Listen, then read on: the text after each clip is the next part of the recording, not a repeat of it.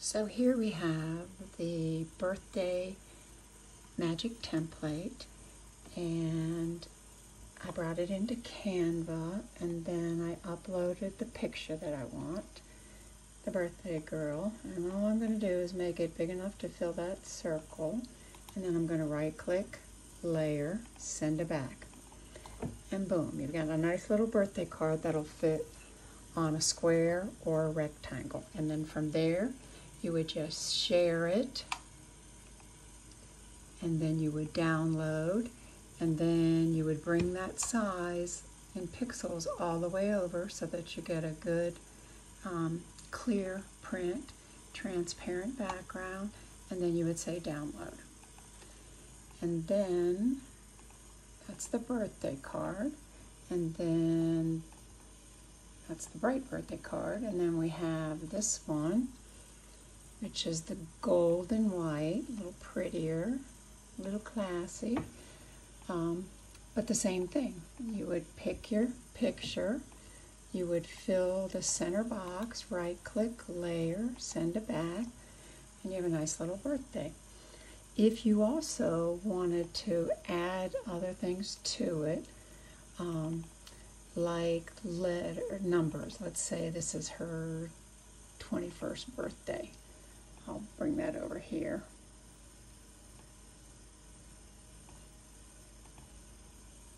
and I'll just add it and put it here or I could put it anywhere on here. And then again I'm going to do share download and change the pixels. And I'll show you one more. Um, and then here here's another one and actually I have another one that actually says happy birthday on it so with with the package, you get um, the magic template blank like this, where they don't say happy birthday, and then you also get one that says happy birthday. So on this, you could actually fill it in and say um, happy anniversary instead of birthday or happy graduation or you know whatever congratulations or whatever that it is that you want to put so one of them will be blank and one of them will have a birthday greeting on it so that you could do it that way. So there's the pink one. And I'm going to do Control A and delete it all. And then I'm going to show you this one. Um, and on this one, it's a little bit different. The other ones, you don't have to worry about taking the backgrounds off. Unless you didn't want that pretty green, then you could take that off. But on this one, you may want to take the blue off. But I put it on there so uh, that color so that when it um, removes the background it has a clear shot of getting everything because sometimes it can be tricky. Okay, and this one is gold and black,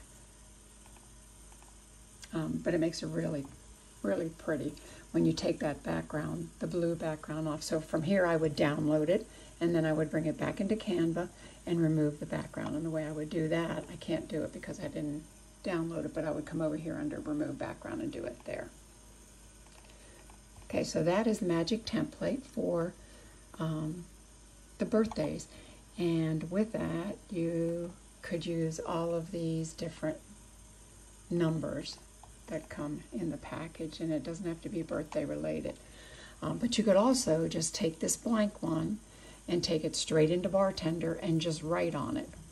And these all fit in the nice circles uh, really well, like just on a circle cookie, so you wouldn't have to have a separate cutter this one fits on a square one, this one fits on a square one nicely, or you could have a cutter um, STL that includes the little breakouts for the um, balloons on that one.